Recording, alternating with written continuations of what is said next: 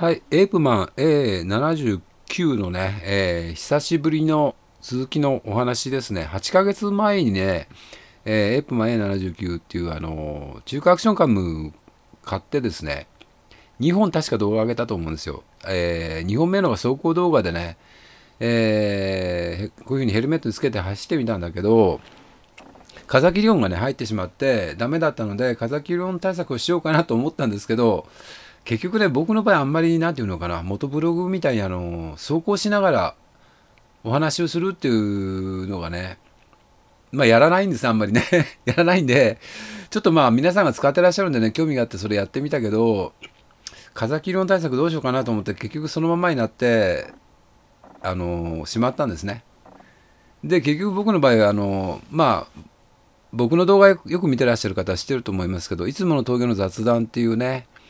えー、バイクを止めてね、えーまあ、スマホのカメラか、えー、今撮ってるネオ一眼のね、えー、富士フィルムの S9900W というカメラ使ってるかどっちかですけどそれで、まあ、あの適当にその辺の景色映しながらね喋、えー、るというパターンのね動画の方が多いんですね。だから走りながら喋るのにあんまり重きを置いてないもんですがどうしてもその一生懸命なんていうのかなアクションカムみたいなのを使って撮ろうっていう意欲がやっぱあんまりなかったんでしょうね。で、ほっといたんですけど、ああ、そうか、そろそろちょっと、もう一回ね、この走りながら喋るっていうのを やってみようかなと思い出してですね。えー、あの時ね、風切り音どうしようかなということでね、いろいろ考えたんですけど、あの、まあ、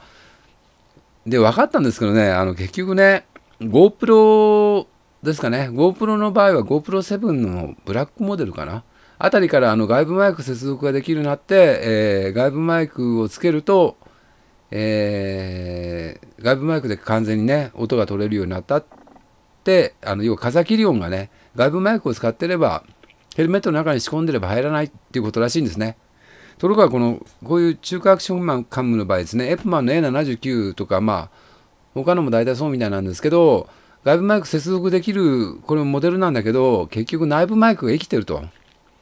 それで結局ね、あのマイク側だけいくらね、あの暴風対策しても、えー、風切り音が入ってしまいますよということみたいですね。だから、あのー、本体側もね、要は、あの、なんていうのかな、風切り音しないように、こういうふうに今、これ何してるかっていうとですね、あの、ニットのリストバンドですね。これ100均なんかに売ってる。あれを買ってきて今ぐるっと巻いてみたんですよ。これで割と風切り音が消えるよってね、あの言ってらっしゃる方がいたんでね。で、まあ、あのヘルメットの中ですけど、えー、見えますかね。これもモフモフをね、あの後一応つけてみました、これ。だからマイク側もモフモフをつけて、風切り音対策をしてですね、えー、カメラ本体側からもその内蔵マイクがどうしてもあの生きてるらしいので、これに要はボディに風が当たると結局はね、えー、ノイズを風切りをどんどん拾ってしまうらしいのでね、これやってみたんですけどね。まあ、あの、これ、まあ、一種のタオル風防みたいなもんですよね。ちなみにね、あの、なんかあの、調べてみて、まあ、あの、GoPro 詳しくはないんですけど、調べてみて分かったんですけど、GoPro の場合も外部マイクを接続しないで、内部マイクだけであの録音しようとすると、あの、風切り音を相当拾うみたいですね。だから、あの、なんていうのかな、GoPro 専用のなんていうのかな、スポンジ、全体に巻く、こう、ケース全体を加工スポンジみたいなのも、純正で発売されてますね。ただし、その外部マイクを GoPro につないだ場合は、あの、純正のスポンジみたいなの巻かなくてもね、多分、あの、内部マイクが切断されて外部マイクに接続になるから、GoPro の場合は大丈夫みたいですね。ただ、中華アクションカムのこんなのの場合は、内臓マイクが生きてるからね、あのどうしてもダメですよって書かれてる方もが多いですね。ただし人によってはね、なんか個体差があって、あの内臓マイクが切断されてる、なんていうのかな、モデル？もう中にその、例えばエプマン70、これ A79 だけれども、これでも製造ロットによってはもしかしたらなんか、内蔵マイクがちゃんとね、外部マイクをつなぐと切断されてね、ちゃんと取れますよって書いてる方もいるんですね。ロットによってはね、取れ取れますよと。なんか 2, 2台ぐらい、要はエプマンの A79 を違う時期に買って、片側のエプマン A79 の方は内蔵マイクが外部マイク接続しても生きてるけど、もう一つの方は、あの外部マイク接続すると内部マイクが完全にね、切断されてますよっていうふうにね、えー、YouTube の動画で言ってらっしゃる人もいましたね。だからこの辺ちょっと謎が多いんですけどね。ただ、あの、この僕の手元にあるやつに関しては、この間走ってみてね、分かったんだけど、内臓膜生きてますね。これね。あの、どう、スピード的に言うとどうかな。えー、歩く速度よりちょっと速くなってくる。まあ、20キロぐらいまでは、まあ、あの、喋っててもね、あの、音声っていうか喋ってる内容聞こえるんですけど、それ以上になるともう完全にね、えー、ゴーっていう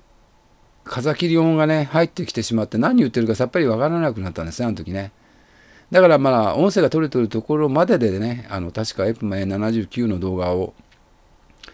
えー、カットしてね、上げてたと思うんですね。で、これとりあえずこれやってみたんでね、これで本当にね、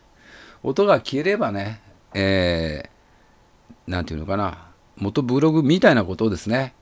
やろうと思えばできるのかなと思うんで、まあ明日走れたら走ってみようと思うんですけどね。えー、ただこれでもしうまくいかなかった場合ですね、やっぱりあのー、本物の、あの、なんていうのかな、GoPro7 のブラックモデルかな？GoPro7 でもなんか、以上の上が、えっ、ー、と、最新のモデルでもそうですけど、なんかあの、ライブマイクが接続できる端子がついてるのとそうじゃないのがあるみたいですね。えー、なんかそんな風な、えー、情報をね、ネットでちょっと見たんですけどね。だからもしその、一番新しい GoPro のやつはどこまで来てるのか僕ちょっとわかんないんですけど、まあ、あのネットで見る限りは GoPro7 のブラックモデルからよりか後のモデルだったら、ね、で、接続端子がついてるやつだったら、あの、外部接続、マイクの接続端子ですね、ついてるモデルだったらいいですよみたいな話でしたね。うん。まああれですね。で、これでうまくいかないだったら、やっぱり GoPro 買ってしまった方が早いでしょうね。あの、もしもどうしても本当に元ブログやりたければね。まあ、あの、僕の場合はちょっとまあ、お試しっていうのかな、こういう中華アクションカムってどうなのかなというね、あの、気持ちがあったもんですからやってみたんですけど、ね、まあでも、いろいろね、で、この、こういう中華アクションカムじゃなくて、もしそれならいっそのことなんていうのかな、まあスマートフォンですね。スマートフォンをここにつけても、おそらく、スマートフォンに外部マイクですね、接続しても、おそらく元ブログやれて、それの方が、スマートフォンの場合は、は外部マイク接続するとおそらく内部のねマイクが簡単に切断されてしまうでしょうからそっちの方がもしかしたら簡単かもしれないですね。ただあのいつも何て言うのかな使ってるスマートフォンを使ってしまうと落としたりすると困るからまああのすでにねあのもう解約してしまったスマートフォンがあればそれ使えばね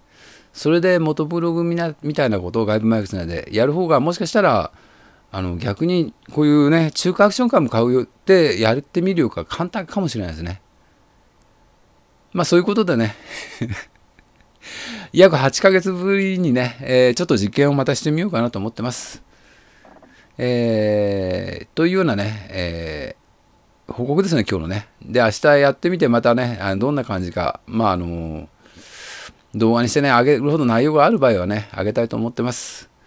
まだね、チャンネル登録お済みでないようでしたらよろしくお願いいたします。ご視聴どうもありがとうございました。